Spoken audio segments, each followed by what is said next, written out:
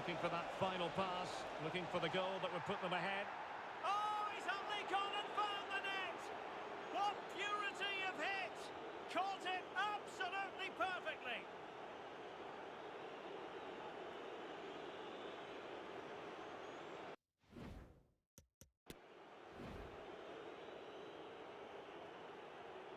And fired over by Angel Di Maria.